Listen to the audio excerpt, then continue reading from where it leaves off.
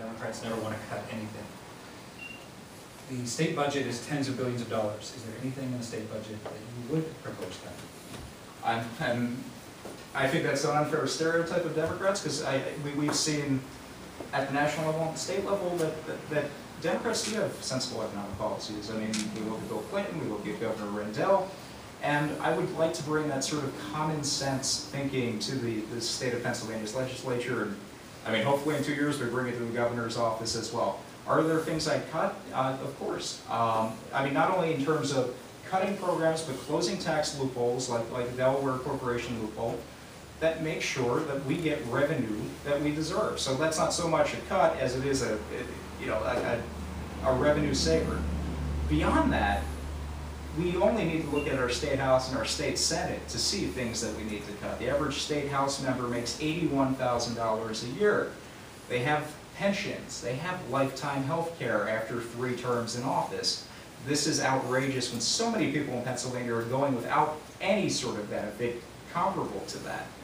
So, is there a large savings there? No. But if, if, if Harrisburg is gonna say, we need to cut, we need to cut schools, we need to cut, uh, you know, basic education, we need to make cuts in infrastructure and highway repair and bridge repair, I say we, we cut Harrisburg's spend.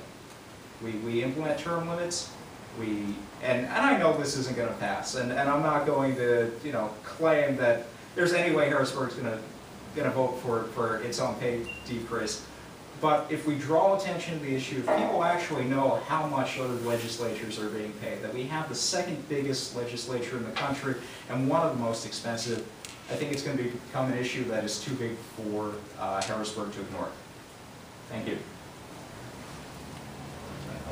We could, cut some in Harrisburg, the- size of the legislature could be cut. There are two hundred and three House members, that could be one hundred and thirty-three uh, tomorrow, take a third off tomorrow, and we'd be better off for it, I believe. Right now, each house represents about, Joe's a numbers guy, about sixty-two thousand residents. That could be a hundred thousand, we're not traveling by horse and buggy, we, we could get around and then handle that, so we could have a small legislature. One specific area we could cut, prisons. I- I work in the criminal justice system. I've, I've lost count of the people I've seen, the drug addicts, the simple, small-time dealers who sell ten dollars worth of something, go off to state prison for two to four years under the mandatory minimum sentences. They're crazy. And every politician I've ever heard talk about it, Republicans and Dems, say the same thing. We're such a conservative state, you'll never change that. And that just doesn't sit with me. I can't, A, there's nothing conservative about wasting money. And B, Virginia, Texas, Arizona, conservative states have gotten smart on crime and cut their prison costs. We can do it too. We're approaching two billion a year on prison costs, the Commonwealth of Pennsylvania. That's obscene, it's wasteful, and absolutely can be changed. And I'm not saying open the gates, but non-violent offenders don't need to be sitting in state prison. It's a terrible waste of money. Bill? Uh, Well, this leads right into that, uh, so it's a follow-up question to the end of that. And how can we cut spending on the prison system and still be tough on crime? Well, Tough on crime is a great catchphrase for politicians. I call them tougher than loud, that, tougher than thou legislators. Well, you've got a good law, I'll show you, and we take, we've taken the sentencing power away from judges and put it in the hands of DAs and the legislatures, these mandatory minimums, they're, they're crazy. Poor judges are, are, have little to do in so many of these cases. So one way would be to get rid of these mandatory minimum sentences for nonviolent offenders, let judges do this. And secondly, especially when people have low drug problems, every study, every study, from the Heritage Foundation, conservative groups, liberal groups, they all say rehabilitation is more effective, more cost-effective, and better, it produces better results than does incarceration when you're dealing with recidivism and drug addiction. So we can lock them up for two years, spend hundred thousand dollars doing it, or we can get them into a drug rehab program a lot cheaper. We could save a lot of money, I think have a much, but we'd be safer, because a lot of these folks go off to state prison where they learn how to become better criminals. That's what happens, and I think we can change that up. So that's a specific. Well, oh, I hope I agree with Bill that we need to do more to put power in the hands of local judges to pass down sentences that they see fit. So I agree, Bill. Uh, you know, mandatory sentencing is, is something we need to look at in terms of prison reform. I strongly disagree, though, that drug dealers are nonviolent offenders. And so I have every bit of sympathy for drug addicts, for people who cannot control their habits, for people who are in, in some way forced into a life of crime to support a drug habit that's out of control. And I will do everything in my power to, to seek programs that get them in rehabilitation, that have them become productive members of society again. But to say that somebody who's pushing drugs and pushing drugs in our communities and pushing drugs to our children is a nonviolent offender and deserves rehab instead of prison is something I can't stand for. And I stand, but, but I, I- I still stand, so. Uh, We have a number of different questions about taxes, so I'm just going to ask a generic question about taxes. You you can include property taxes in there as a, as a component of that. But I don't think it's an overstatement to say Pennsylvania's, Pennsylvania's tax system is probably the most convoluted in the nation. Yes, it is. Uh, What would you do to reform that? Well, I mean, there are a good number of things we can look at in, in terms of, uh, tax reform at the state level. I mean, among other things, the property tax situation is out of control, but, but for reasons that are, are not immediately apparent. We have an administration that's committed to cutting basic education. When they cut basic education, that leads to property tax increases at home because the school districts need to make up that revenue somewhere. So if the state's doing its part, we're going to see our property taxes come down. Beyond that, I, I, I am in favor of amending the state income tax to become a progressive system. I don't want to see an increase in the state income tax for most Pennsylvanians. I, I think a lot of us are in agreement about that. But if, if we do go to a progressive system, for those who make a little bit more than, than the average Pennsylvanian, I think they should be paying a little bit more than their average, uh, than their average share. Beyond that, we have numerous loopholes that we can close, uh, in regard with the state sales tax. Oh my goodness. Uh, with, with the state sales tax, uh, I, I would do away with the one percent refund that we give for businesses who pay their sales tax on time. I don't want to reward somebody for doing something, uh, that sh- they should be doing anyway.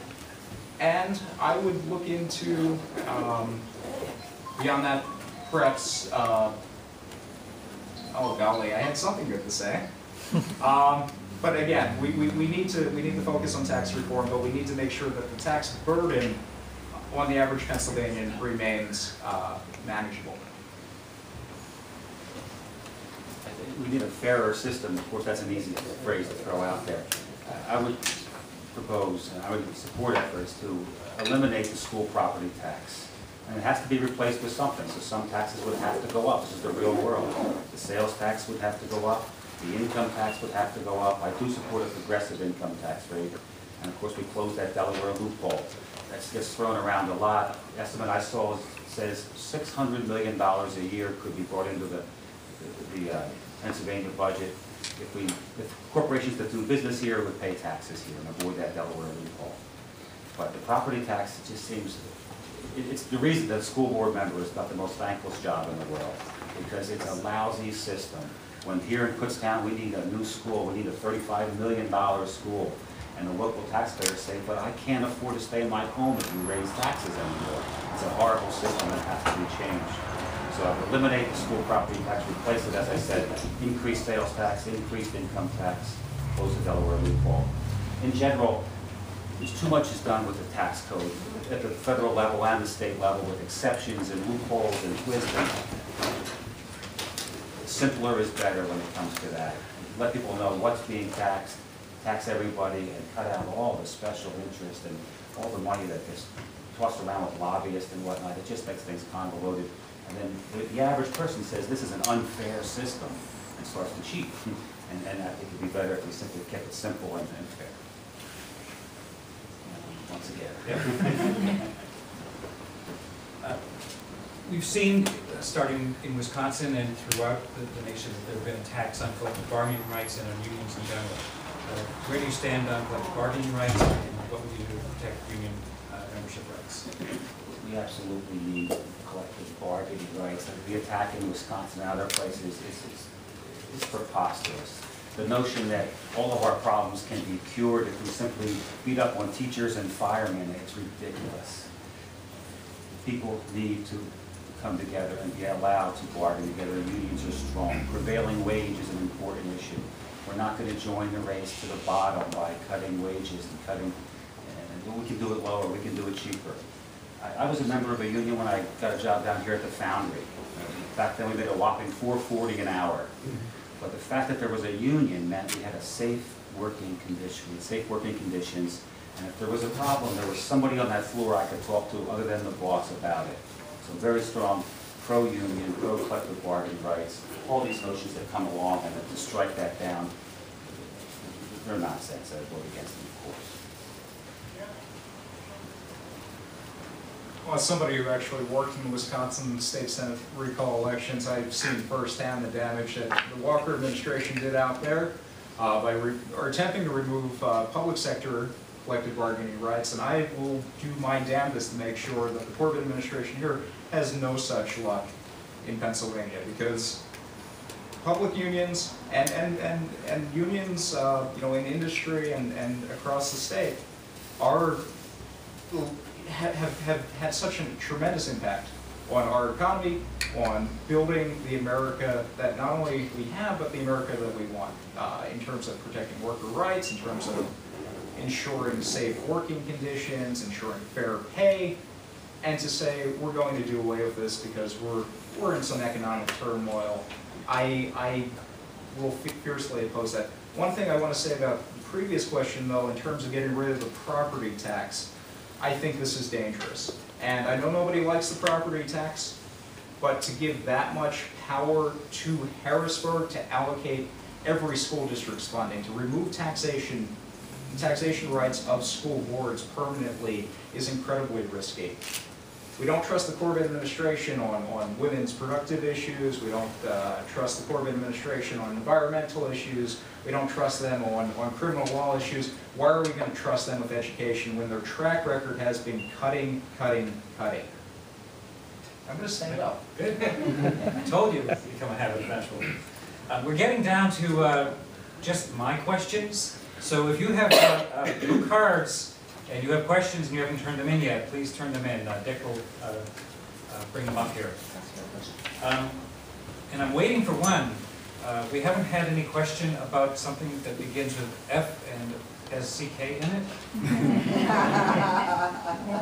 Is this it? Not yet. Okay. Um, So, so let's jump into the, the next question. Uh, A major segment of our population still is without equal civil rights. It's illegal to discriminate against uh, lesbian, gay, bisexual, transgender people in Pennsylvania. Uh, They have no civil rights. It's, it's, uh, there's nothing in uh, Pennsylvania law that protects, uh, uh, there's no anti-discrimination law. There's also no marriage equality Do you support equal civil rights for lesbian, gay, bisexual, transgender people? Well, Mike, of course I do. Uh, I mean, not only am I endorsed by Equality PA, one of the largest gay and lesbian and transgender uh, groups in, in Pennsylvania, but this is an issue I believe strongly in. And I, I know we've done a lot of good work across the state, passing local ordinances and local laws and about, you know, removing companies' rights to discriminate or perceived rights to discriminate against people who are gay, lesbian, or transgender. We need to do that at the state level. And, you know, I'm gonna fight to make sure that discrimination ends statewide. And I'm gonna fight for marriage equality once I get to Harrisburg. And, and again, I know that's an issue that may be tough for some Pennsylvanians to accept. I, I, I know that, you know, we're, it's about 50-50 support. I know we've had some success across the nation, but it's the right thing to do, and that's why I'll be fighting for it. I- support both. Whether you call it the libertarian leaning that says government doesn't have any business telling people how to live, or whether you call it the live and let live philosophy. People are people here, we should, all have the same rights, and I don't want to hear government saying, well, you have this right and you don't have the same one. Nonsense, of course I of course I support those things. Uh, You're going to find that Joe and I agree on a whole lot of issues, that's, that's good, I mean, we're, we're, I, I, I think we're both Democrats, though. we're all on the same team, you know, we're just trying to figure out who's, this year's lineup. Um, Here's a, I like this question. Uh, What is your new idea that nobody else is talking about? No one, no politician that I've seen is, is willing to talk about the prison reform issue because they're all afraid of it. I'm gonna put it right up front because I think that the voters are a lot smarter than these politicians give us credit for. When I say that prison costs are crazy high and we need to do something about it, and they run for cover, I'm, people I talk to say, yeah, that makes sense. And this will get me back to that question. I mentioned uh, nonviolent offenders and whether the drug dealer is a nonviolent offender. The ones I see, the ones I'm talking about are the, addicts, the person who gets caught selling twenty dollars worth of something in a, in a so-called school zone. Under these mandatory minimum sentence laws, a school zone is a thousand feet from a school as the crow flies, not as the school child walks.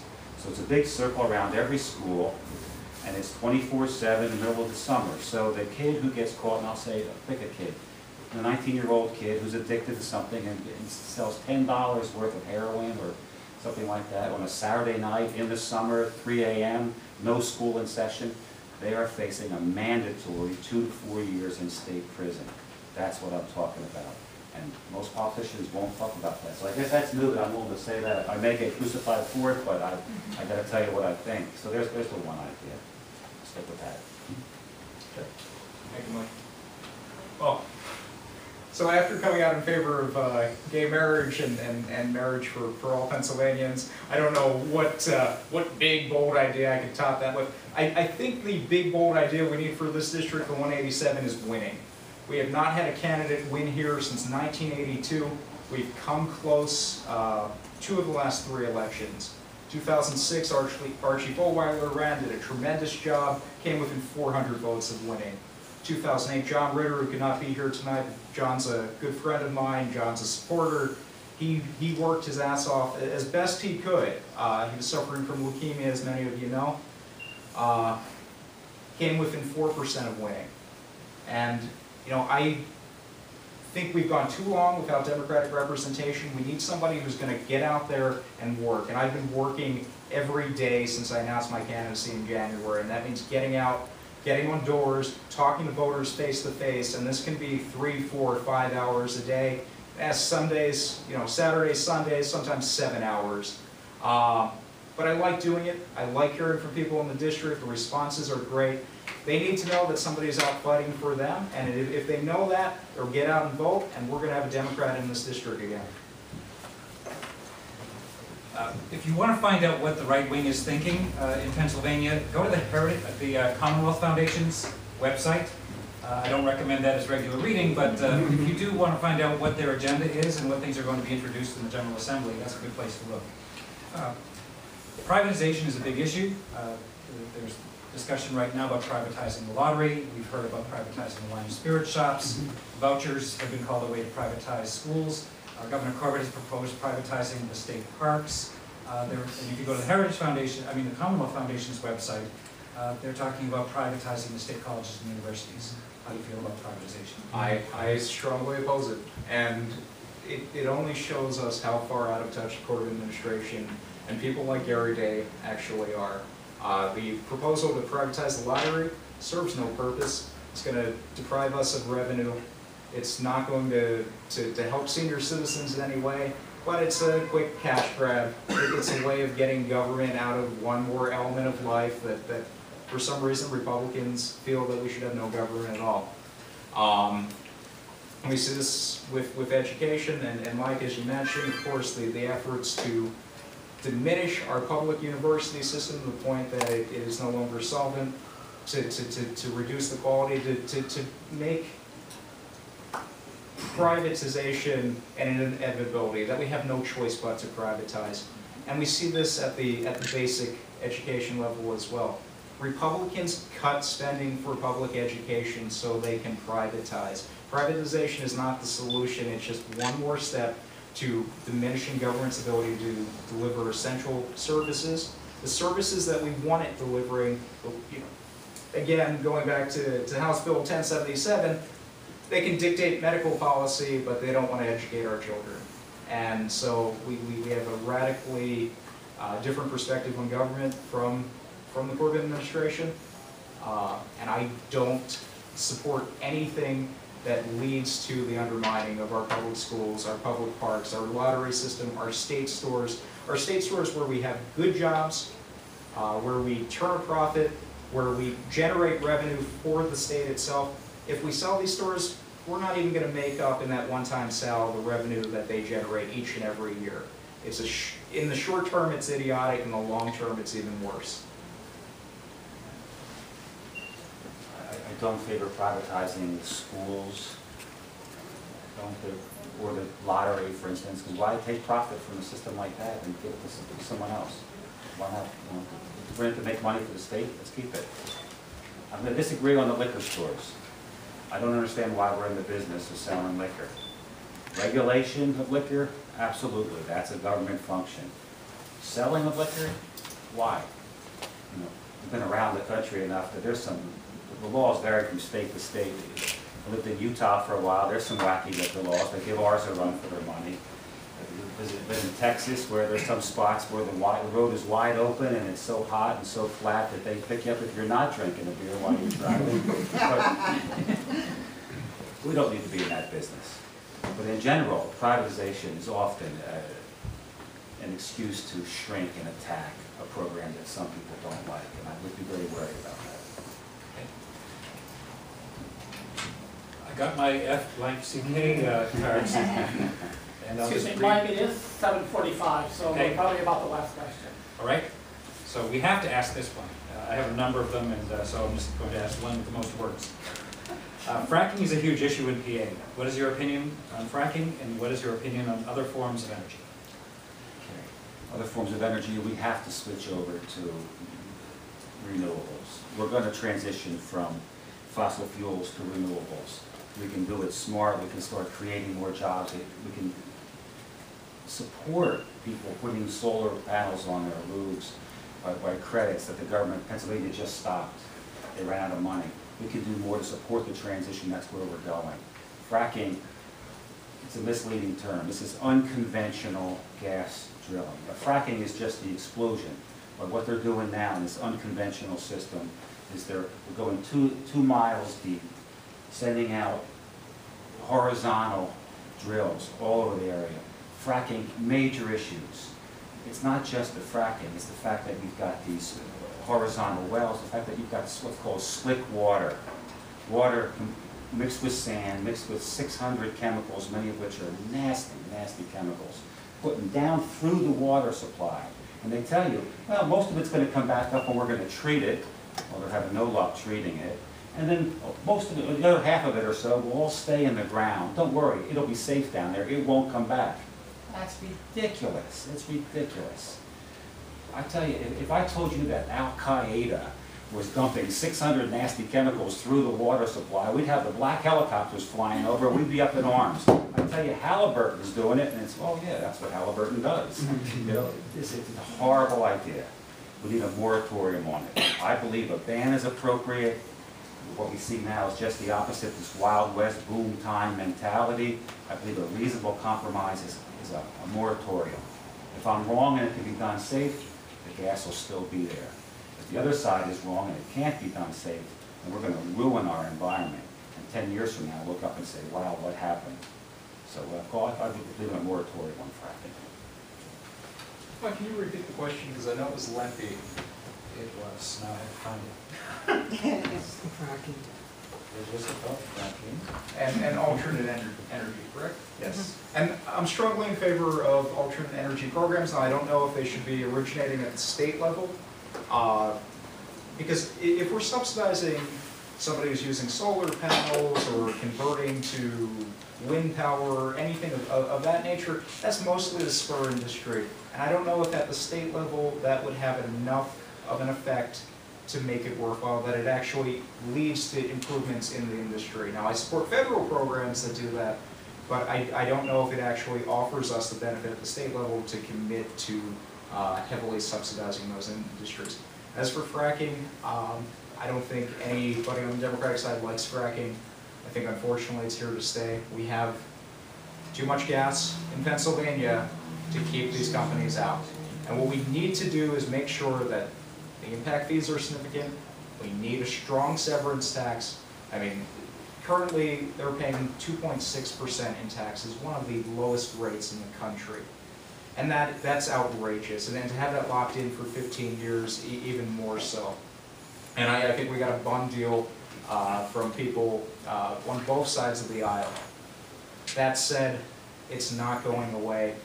We need people who fight to make sure that we get the revenue, that we get the oversight that we need, that it's regulated, that it's as safe as we can make it, and that Pennsylvania, all Pennsylvanians will profit from this, not just the energy companies.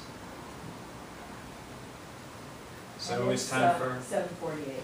it's time for closing statements. Uh, Again, I just want to thank everybody for, for coming out tonight. It's, it's, it's wonderful to see in a town the size of Kutztown, how many people are involved. And then we need to make sure that translates into involvement on April twenty-fourth. And of course, getting out and voting on November sixth as well, because that's something we, we, we don't always do right. And I, I mean, I'm, I'm somebody who, I'll, I'll admit it, I, I've missed a few elections myself. You know, I said, oh, I'm busy, I, I don't know the candidates, I don't feel, feel right voting. And that's what's led to us having a, a district that for thirty years has been Republican, and- and not just, you know, middle of the road Republican. Some of the most conservative Republicans we can think of, Gary Day is far, far to the right. He's far to the right of this district, and yet we've been stuck with him for four years. We need to do more. We need a candidate who's willing to fully commit himself to seeking this office, somebody who has the capacity to not only get out there, conduct a professional campaign, but to raise the money that we need uh, to compete. I mean, we've got over two thousand dollars in contributions so far. I'm targeted to, to raise about thirty-five thousand dollars for this campaign.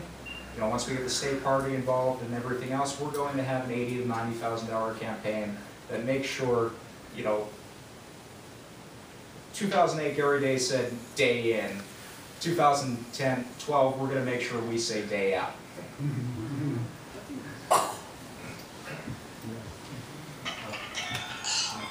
I'm hoping Joe will help me raise money later on. Same for you. And, and I would of course help him, because we are on the same team, and Gary Day has to go. Gary votes like all Republicans in Harrisburg do, they all vote in lockstep, call them lockstep legislators. Tom Corbett comes up with some crazy new idea, he's gonna fix a voter ID problem that no one knew we had, and they vote with him lockstep. That's gotta go. To be honest with you, I'm not gonna vote lockstep with the Democrats either, and I'll tell you right now, that's, they may piss some people off, excuse my French, but it's just, there's no way. It's set up in Harrisburg, it seems like you go down there and you serve the party, then the party rewards you, Dems and Republicans. No, I, I- I don't believe it. For too often, for too long now, we've seen the, the extremes defining the debate. And I really believe that most Pennsylvanians are somewhere in the middle, and we can find compromise. We can find ways to work out our problems. If we disagree on an issue, it doesn't make us enemies. Civil people can disagree civilly. I believe we can work things out and solve a lot of our problems through civil discourse. I believe I've spent the past twenty-some years in the legal profession doing just that, working things out. And that's what I think I'd be a good candidate for this, this position. I hope we do it. We need to do it as Dems. We need to do it regardless of who, who wins. We, we need to do it because it's really important. We gotta change things up down in Harrisburg.